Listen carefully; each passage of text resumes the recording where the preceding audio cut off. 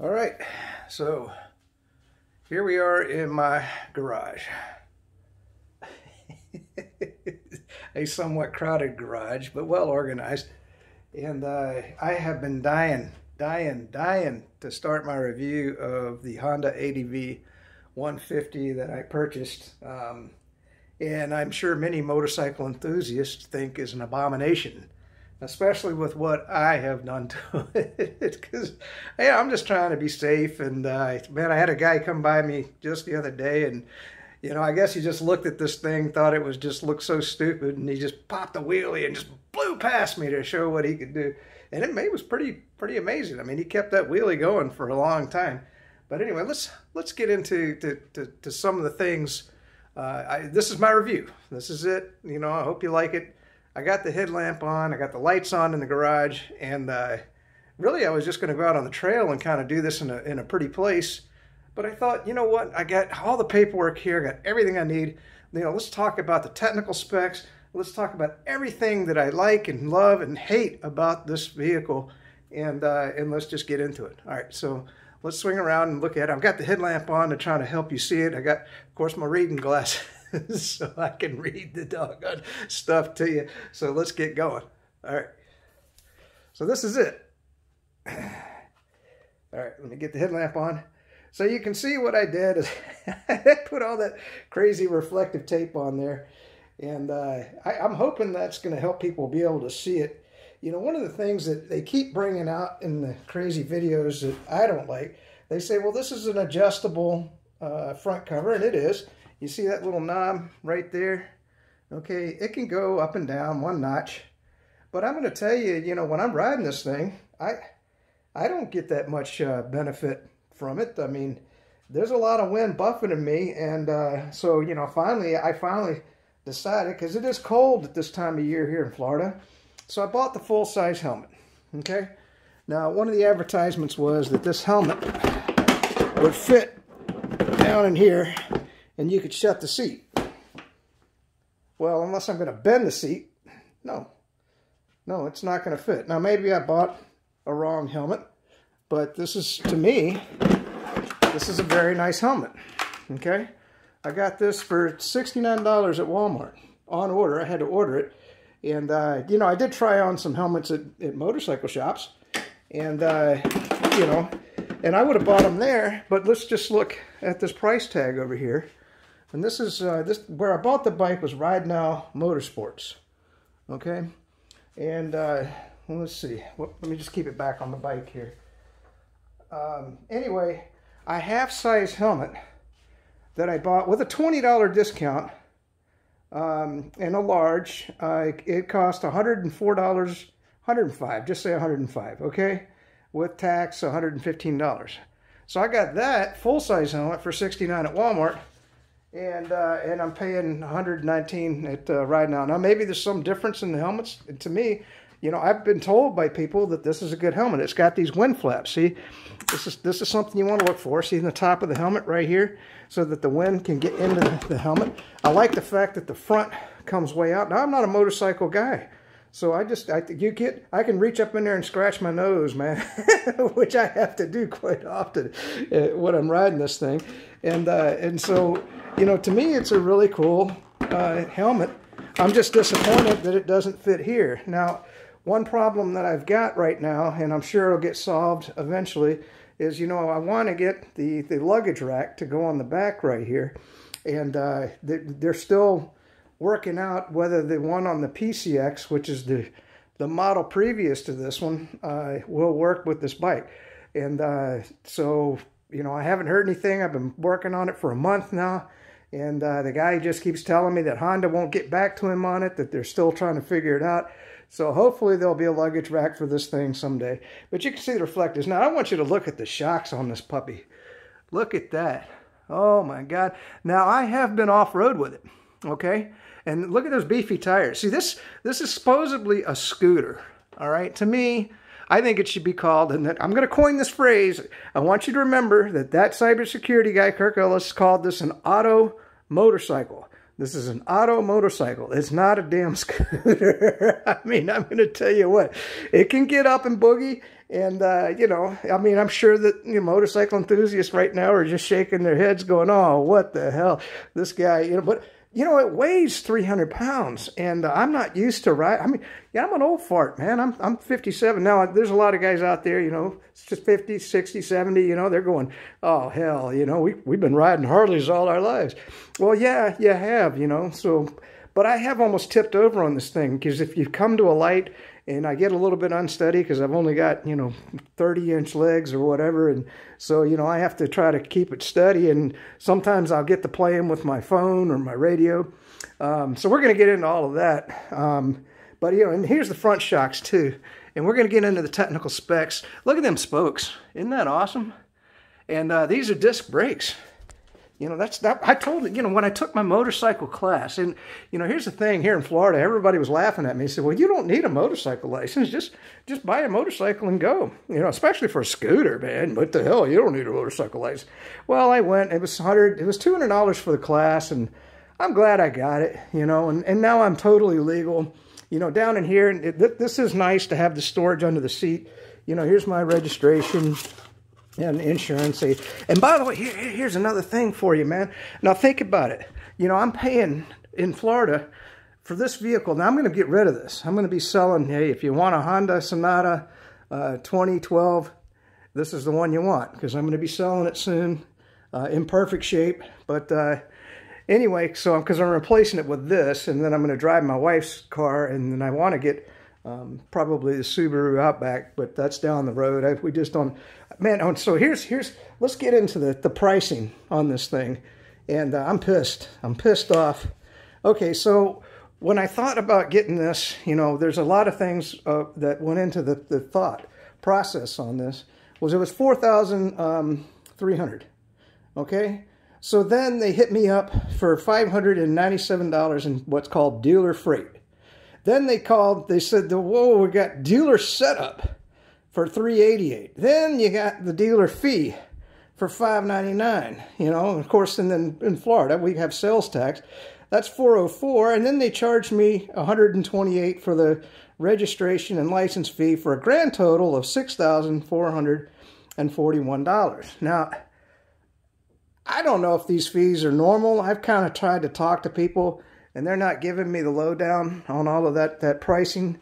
Uh, that just that just seems like a lot of dealer money to me. Um, but you know, who who am I?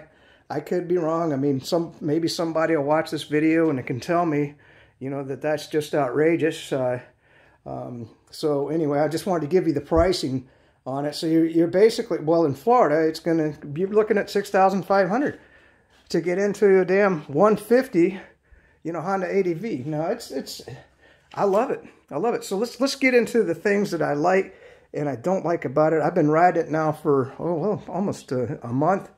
And uh, so here, I've been trying, I've been trying all kinds of things. All right. So the, the first thing that I can't stand is these mirrors. You know, you can't really see behind you. They're supposed to be concave. Uh, I, you kind of lean your arm out of the way, and I just I have a hard time seeing the cars behind me. And another thing I don't like is I would like to be able to pop these mirrors off. Because one of the things I bought this bike for, because it's supposed to be an adventure bike, is to go off-road. Well, what I've discovered is these tires, okay, let's just take a quick look at them. They're not real good in the, uh, in the sand, you know. You get into the sand here in Florida, and uh, boy, the bike becomes really unstable, which is understandable. But the fact is, I mean, then they'll just spin in the sand. And I've gotten so that, you know, I've, I've had a couple of instances where I had a tough time getting out of the sand. And uh, so anyway, that's just a, a, a, gripe of mine, just to kind of talk about, you know, what you have there. But they are bigger tires, and uh, you know, it's not it's not meant to to be you know a, a, dirt bike. But I was just hoping to travel some of the roads around here, and uh, so then I've been experimenting. One of the things you know how stupid I am.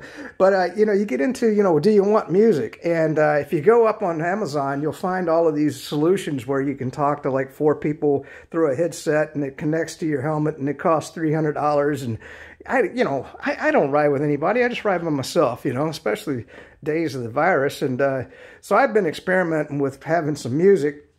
So the first thing that I did with the helmet was I bought these. Uh, well, I had these uh, these earplugs, and uh, and I wore them inside the helmet with my with my Walkman. And by the way, hey, this is this is the new uh, the new Walkman that I bought, uh, not just for hiking but also for the motorcycle.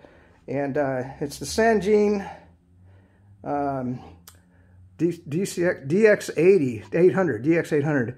It's not even written on here. I would have thought they'd have it on the front. But uh, anyway, so that man, that thing, I, am really enjoying it. Um, it, it gets great reception, and uh, so you wear these earplugs inside the helmet. So then I thought, well, what about, you know, if I just want to wear, now, you're going to laugh at this. These are my old uh, Air Force aviator goggles.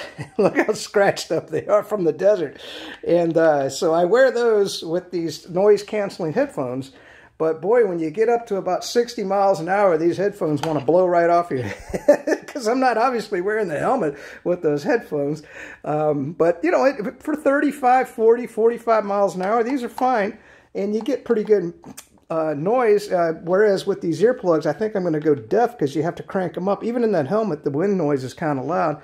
So, you know, maybe I'm just going to have to break down and buy that $300 uh, set up, but uh, I'm just not to that point yet. I've spent enough money at this point. Um, so, yeah, the, the, so the mirrors, oh, why do I want the mirrors to pop off? Well, I do want to do some crazy trails. And, uh, you know, going over with a 300-pound bike, you know, that's not something that I really want, but I think it's going to happen. And uh, look at those mirrors. They'll just break right off, right? And uh, so if I could pop those off, you know, and, and, and if I am, you know, here's, here's another thing. you got to think about, you know, going through life. What was I? I was a skateboarder. Uh, you know, I did a lot of uh, uh, crazy sports and stuff. So I got knee pads and I got elbow pads. And, you know, of course, I've got the, the, the motorcycle helmet now. And, uh, and then, of course, I've got shin pads from softball. And, uh, and I've got foot protection. So really, I could do some really aggressive uh, dirt biking on this thing. Um, except for the fact that if I lean it over, I'm going to break them damn mirrors off. You know, I mean, so what if it goes down in the dirt into the sand? You know, that's probably where I'll lose it is in the sand. You know, it's not going to hurt anything for that thing to, to just lay down and fall on top of me. Uh, and, and I don't think I'll break anything. I mean, you know, most of the time I'm, I'm not going to be going, I'm not that crazy. I'm not going to be going 50 miles an hour or something. And, uh, but I, I just don't know what to do about these mirrors. So that's a big, big problem for me. And I got to contact Honda and see if there's a way to, to deal with that. All right, so uh, yeah, something you might not be worried about. Uh, now, performance-wise, um, we'll get into the specs in just a minute. Uh, I love the lights. Uh, yeah, let's cut it on. And you know what? I'll cut the lights off in here. You got to see this. It's pretty damn impressive. Let me just kill the lights. Hold on. Oh, geez. Should have probably done started the video this way. But, uh, God damn it. There, cut the fan on. So look at that. I mean, these are all LED lights. I think that's pretty damn impressive. It's completely dark in here. And uh, in the headlight, you actually have high beam. That's high beam. You know, look at that front. Isn't that awesome? Kind of looks mean, I think. You know, the way they got it it's structured with the with the lighting here.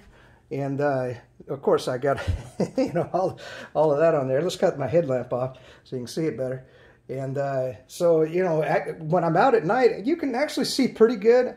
Um, let's cut on this turn signal for you so you can see what them LED turn signals look like. So that's kind of what it looks like on the front. And I think this is very visible, you know, for anybody that's behind you. I think they're going to see that just fine. And uh, by the way, you know, if you if you do any research, uh, getting LED uh, lighting approved for a vehicle like this is uh, pretty damn difficult. And I don't really understand that. I just watched other videos and they talked about how important that was. So, uh, okay, so we can uh, go ahead and cut the uh, lights back on. All right, so let's get into the, the specs on the thing. Um, well, I guess I should talk about my experience with it also. And uh, um, I, uh, I got no problems with it. I think the acceleration is just fine. Uh, I can get up to 55, 60, 65. Now, I'm still breaking it in. You know, they say uh, go up to 300 miles, you got to break it in properly. And uh, so I haven't really gone, you know, full speed to see if it'll go faster than 70 miles an hour. Now, one thing that I am kind of uh, I don't know. I don't know if it's true. It says I'm getting 104 miles a gallon, and it's only got a 2.1 uh, gallon gas tank, which is kind of crazy. Uh, you know, when you think, and that's another reason I bought this thing because, you know, here in Central Florida, I just want to explore everywhere. Um, you know, and uh, you know, going out in a car with 30 miles to the gallon and driving around, especially you don't want to take you take a car on the dirt roads and then you get it all filthy and everything. I don't care about this thing, man. I'm going to beat the hell out of it. I'm going to I'm going to get it dirty. I'm going to get it filthy. I'm going to go down, you know, through mud puddles, you know, whatever. Uh, and by the way, that engine just purrs. Uh, we'll, we'll start it up here in a little bit and uh, probably in the second video. I did want to show you, here's the display, which is really cool. Uh, you got your, your uh, um, speed, uh, these are your trip miles. I had to, I finally figured out how to set the time, the date, you know, and I, I swear when you get old, you do need to know the time and the date because sometimes I don't remember what damn day it is, you know. So uh, you got that. And see, look at here. This is what it's saying 104 miles to the gallon. That's my average. And, uh, you know, this is your select, well, select buttons uh, right well, over here. Yeah. There you go. Um, there's the air temperature. That's pretty cool. I do like that because man, I'm sitting there going, is it just me or is it cold out here? You know, and so you get you get that going. Uh, there's the trip miles. You know, you got to. I haven't reset those. I have actually I forgot how to do it. So it really nice, and I, am surprised because I can actually see it. And when you hit that uh, blinker on, you notice it, it, comes up right there on the dash, and that's a very nice uh, uh setup and it shows the ABS light. That's pretty good. And then, you know, it is kind of kind of weird because when you're doing the uh, the blinkers, you know, you got to push it in to cut it off, flip it. That cuts it on right, that cuts it on left, and there. Now, a couple of things to that I'm, you know, as I go, I'm learning, I'm learning and learning. Like I said, these are the high beams. Those are the low beams. That's just that little switch right there. Now, this is your hill lock brake, which is kind of a nice. So you lock that. But don't do like me and forget to forget to cut it off. I'm like, what the hell's going on? The motorcycle won't go anywhere, you know? The auto motorcycle, that's my word for it. So you just hit this lever again and boom, that cuts right off. And uh, so once you did that, uh, it, it, it, just comes right in. You know, another, another cool thing uh, is, uh, let's cut that off. Now this is the seat, so if you just hit the button here, that brings up the fuel. Here's the fuel kind of a beefy uh, uh, fuel handle, you know, and of course I always be real careful because I'll just set it right here. Now if the seat, if I didn't have the helmet in there, and then I just make sure that, you know, and then, by the way, I mean, when you fill this thing up, one gallon, I mean, you know, it's 2.1, I mean, it, it takes all of two minutes, you know, to fill this thing up, and uh, it will cut, it will slam off. I mean, because once it gets full, you know, so I just stick it down in there let it fill up, and then I just add a little bit on top of that, and uh, that takes care of that. And then, oh, here's another th feature that I'm sure that wasn't a feature that they had intended. I just want to show this to you. Is uh, okay. Let's so let's take the seat down now. Let's pretend you know, I'm I'm getting to the post office and I've got like just just today I was mailing some packages. I had them down in here and I got that. Well, you know, a pain in the ass is I, I don't want I don't want the seat locking every time. So if you just set it down, see, it's not like it's sitting on anything. It's just it's just right there. I guess I cut, cut my headlamp on so you can see. Okay, it won't lock, and that's great. I mean, I'm sure they didn't intend that to be a feature, but I like it because a lot of times when I'm riding, I don't want the seat locked. I just like to get where I'm going, lift the seat up, do what I got to do, set the seat back down, go into the store, drop off whatever, uh, and then just come back out. So shut that back. Um, here's your settings on this. Uh, this is kind of cool. You got your, uh, this is your run, okay? That's your ignition. Then you got the, the seat, fuel, that's off. And then you do have uh, over here, is a lock. And what you have to do, you turn that steering wheel to the left and then you can lock it. And so if somebody wants to steal the bike, now if they want to steal it 300 pounds, you know, a couple big guys are going to throw it in the back of a pickup truck and they're off and gone with it, you know. But uh, at the same time, you know, if you lock that steering wheel to the left, at least they can't roll it up the ramp into the back of the truck. So it is a, a little bit of a deterrent. Now, and you know, a couple things that I wish I had, but I can understand why they didn't provide it. Now, this right here, this is the uh, this is the storage little area, okay? And I just keep my key right here, and then I've got. And by the way, there's a there's a nine volt or 12 volt. I'm sorry, 12 volt outlet back in there, and I keep my sunglasses in here, and uh, and that's about it. You know, and a mask and my hand sanitizer. Oh boy, COVID. You know. But uh, it's, it's really nice to have this, but you can't lock it. So, and oh, here, let's just show you how the key operates. Um, and don't ask me what the top is for. but anyway, when you cut the key on, you see that little, that little green dot blinking? Let me get my headlamp out of the way. All right, so when it turns red, that means that the bike is disabled uh, as far as the key goes. Now the key, it's a proximity key, and then when you just cut it and put it back on, of course I just leave it on and I just keep it right there because it's in my garage. And so I never have to look for it and just remember to take it out of there whenever I go somewhere. Um, so I, I guess that's kind of, let's just get real quick into the specs and then I'll post this video and we'll do some other videos. I want to do some riding videos uh, with it and uh, got to get my glasses. And uh, we'll get into, get into, now how I'm going to do that. Now these are some other things I've been looking into. They make these, uh, these mounts that you can put right here and uh, bring your cell phone up and just have it. And, and by the way, that's a that's another thing that's freaking useless. Okay, and this is another reason I'm not real concerned about it. Was I I wanted to use this on the back roads here in Florida. I love traveling the back roads because we got all these horse farms and it's just beautiful. And uh, with 200 miles of the I mean 104 miles of the gallon, what do I care? I can go just miles and miles and miles and and and, and just look at the, the the, the wildlife and learn all the back roads and everything. Um, so anyway, get uh, let's get into the specs. All right, so it's a 104, 149 liquid cooled, uh, single cylinder four stroke. Okay, 5.3 millimeter by 57.9 millimeter bore and stroke. Uh, it's got fuel injection, uh, which is kind of impressive. And by, I mean, I'm going to tell you, for a 150 cc, this thing, man, it just, it's got to get up and go. It's got the spunk.